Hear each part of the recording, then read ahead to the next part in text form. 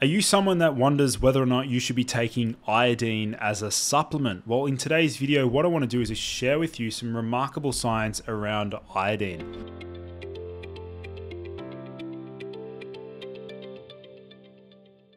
So, iodine is a crucial trace element needed in small amounts, but is essential for your overall health. Now, iodine is essential for the production of thyroid hormones which does regulate your metabolism, growth, and development.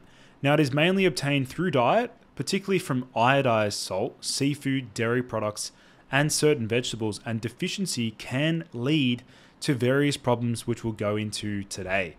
So, first of all, how common is iodine deficiency? Iodine deficiency is surprisingly common, affecting 1.9 billion people globally. It's especially prevalent in regions with iodine poor soil, but even in developed countries, many people may not be getting enough iodine due to changes in diet and soil depletion. According to a study in Germany, the median daily iodine intake without taking into account the use of iodized salt in processed foods is around 75 micrograms for adults in Germany. This corresponds to half of the daily intake recommended by EFSA of 150 micrograms and around 40% of the German health authorities' reference value of 200 micrograms per day. A major factor is that many people aren't eating enough iodine rich foods like seafood and dairy products. Additionally, with more people cutting back on salt for health reasons, they miss out on iodized salt, which is a key source of iodine. In areas where the soil lacks iodine, Crops grown there also won't contain much, which is common in inland regions. Women who are pregnant or breastfeeding are also at higher risk of iodine deficiency due to the increased iodine needs for fetal and infant development. While this video does focus on iodine deficiency for adults, iodine deficiency is the most common preventable cause of intellectual disability in children. Now, what about iodine deficiency as it relates to hypothyroidism? This is not the same thing. Iodine is essential for thyroid hormone production, and its deficiency can lead to hypothyroidism. Addressing iodine deficiency through increased consumption can restore normal thyroid function in such cases. For instance, a study treated patients with hypothyroidism due to iodine deficiency using daily powdered kelp supplements, providing 200 to 400 micrograms of iodine which restored their thyroid function and normalized urinary iodine concentrations. However, if iodine intake is sufficient, hypothyroidism is often caused by factors unrelated to iodine deficiency, such as autoimmune thyroiditis.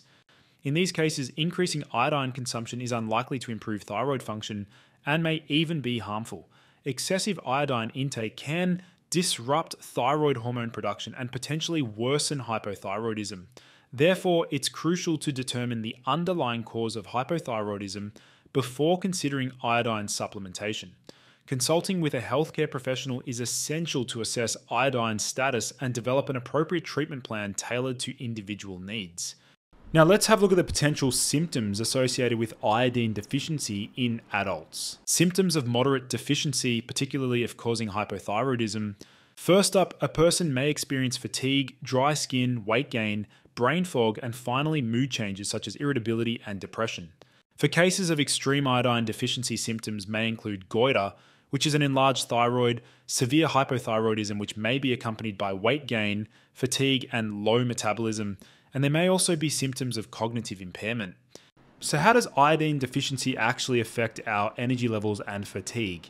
Iodine plays a key role in thyroid health by supporting the production of thyroid hormones like T3 and T4, which regulate metabolism, energy, and mood. Without enough iodine, your thyroid is less able to function properly, potentially leading to symptoms like fatigue, weight gain, and even depression.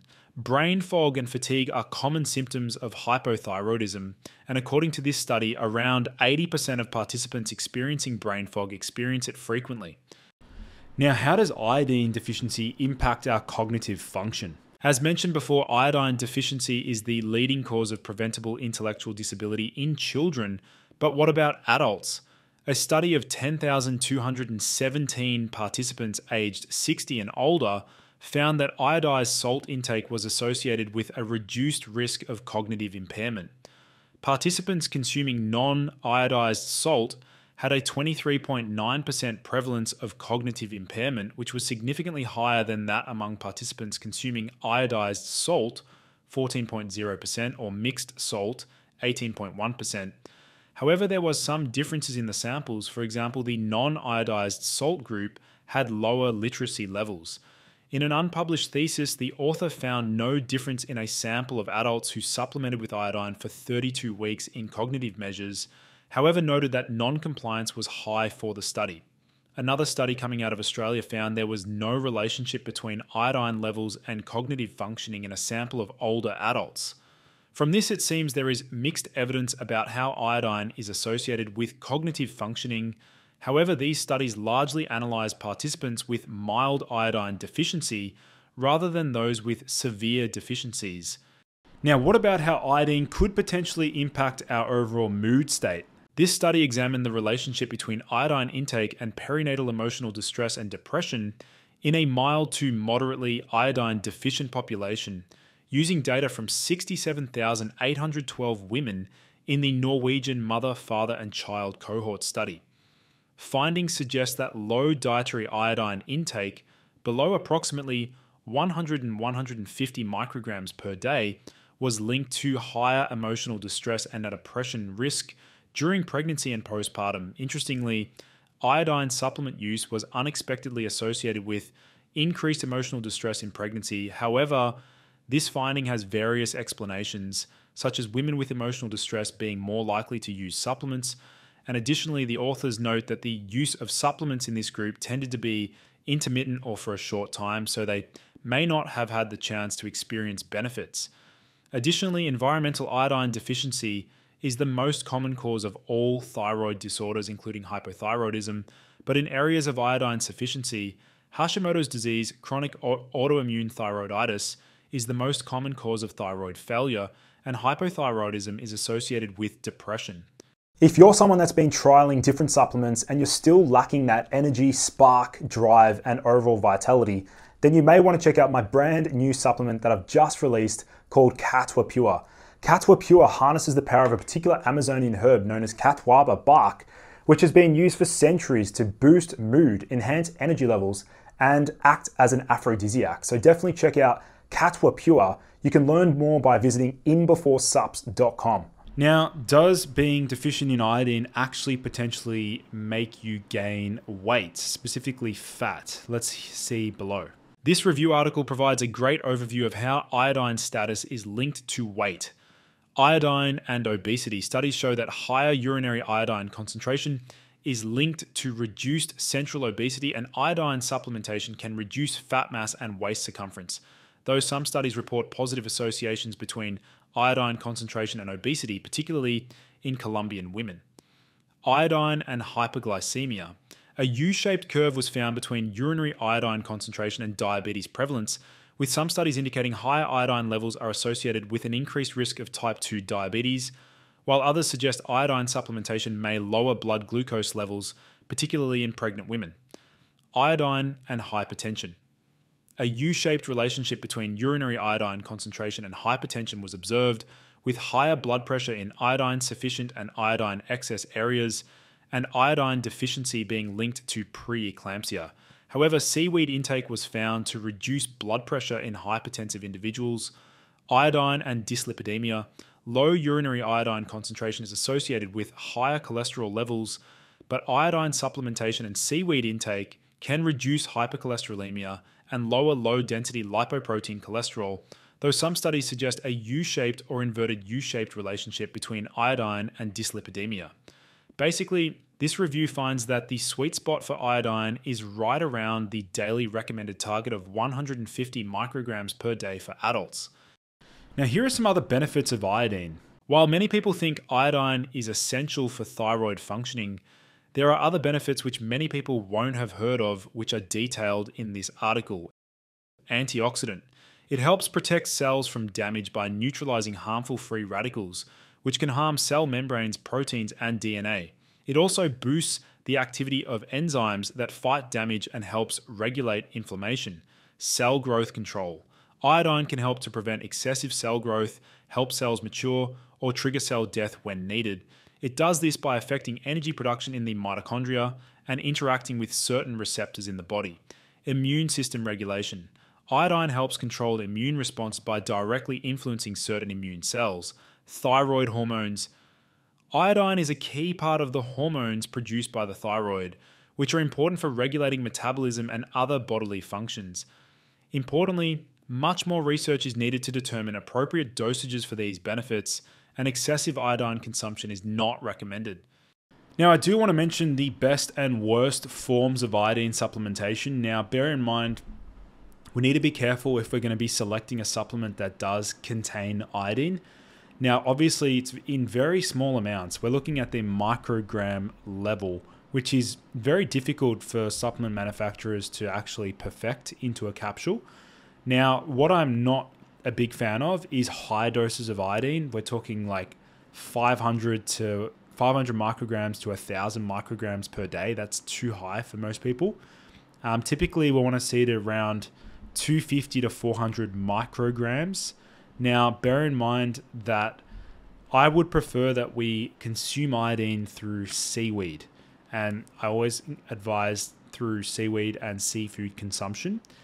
If that's not possible, then a low dose iodine supplementation can potentially work well as long as it's not overdosed. So, nothing beyond, you know, very high dosages. So, here we can see the iodine RDIs developed by the Food and Nutrition Board in the US. We can see 19 plus years of age. We need 150 micrograms per day um, for iodine. And we can see here the iodine rich sources.